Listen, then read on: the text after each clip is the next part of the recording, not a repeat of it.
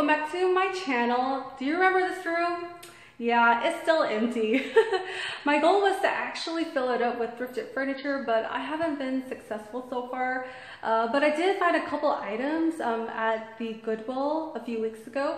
So we're gonna be giving it a little makeover and see what we can come up with. So this chair here is a gorgeous pink. I really like the material. It's very girly. It's in great condition. And guys, I only got it for $7.99. So I will be cleaning the fabric, but I wanted to paint the wood um, as well.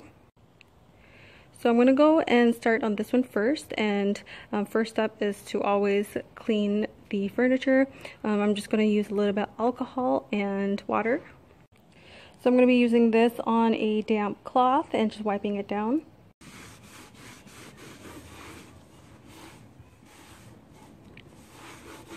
There's some pieces of garbage on the top I didn't notice.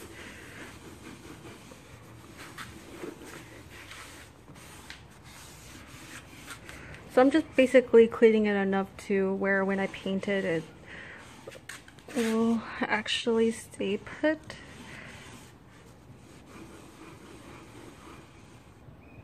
Alrighty, everything is nice and clean. I removed the drawer already and also the doorknobs um, and made sure I cleaned everything inside as well. And uh, when I look down there, I do notice there are some cracks. So this is the inside and I see some of the paint chipping and also um, there are some cracks here. So what I'm going to do is seal it with um, wood glue. Alrighty, so this is what I picked up is Carpenter's Wood Glue by Elmer's. Um, I've never used this before, but I trust this brand. So what I'm going to do is use a paintbrush and then just go ahead and uh, paint in the glue and try to seal it as best as I can.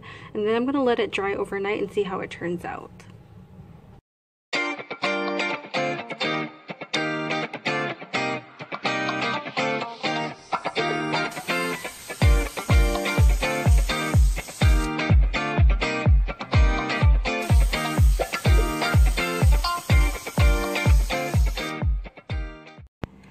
I forgot to mention that I also picked this up at Value Village um, a few weeks ago and it was only $2.99.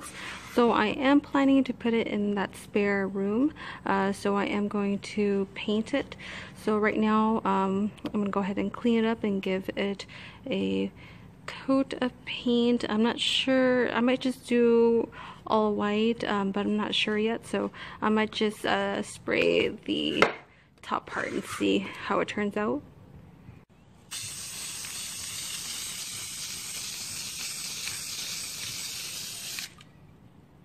Alrighty guys, so this is the current update on my project. Um, I did use up all two bottles of paint and it covered up everything really well, um, including this uh, wall shelf here. Alrighty, so what I'm going to be using is this Martha Stewart Craft Metallic Paint. Um, I'm going to be mixing them up. Um, what I might be doing is uh, just sponging in the color within the drawer and also inside of the shelving unit and also painting um, the side of the shelf here. And I know this paint isn't meant for uh, furniture, but um, I'm not going to be actually using this drawer here uh, for functional reasons. It's just going to be for decorative purposes. So um, using this paint will be fine. And yeah, I'm just going to play around with it and see how it turns out. So I'm going to start on the wall shelf and I'm going to be painting the edges with this metallic paint. Um, this particular color is called Pure Platinum. And uh, this was a couple dollars at uh, Michael's, but I did, of course, get a discount. And I want to show you um, the color, so just to give you a better idea. And then um, what I'm doing is just uh, lightly painting the edges um, right alongside here, just to give it some um, pop of color.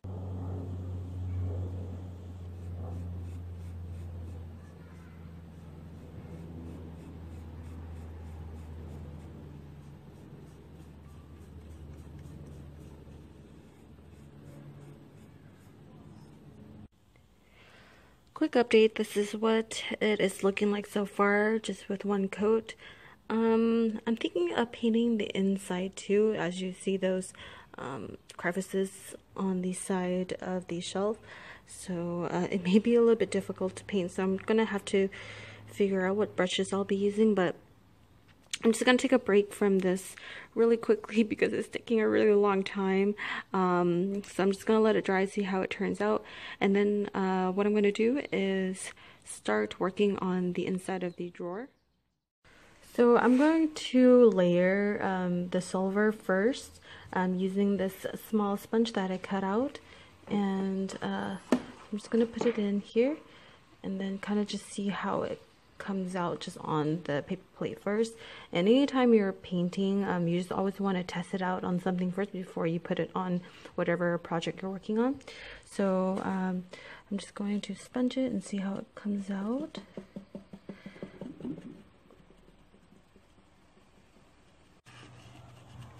So I'm just going to be dabbing it um, all over. Again, there's not no rhyme or reason, just um, where I feel like I want the color to be. Alrighty, so this is what my madness looks like so far. Jacob's laughing at my art. Alrighty, everything is looking great so far.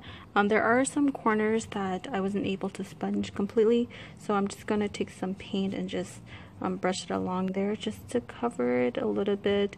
Any um, areas that I think should be filled in. Um, again, I'm not trying to be perfect. I do want it to look a little messy. Um, it's intentional, so uh, yeah, that's all I'm doing, and it looks like it's all done now. So I am planning to replace the knobs on the dresser and I picked up four of these.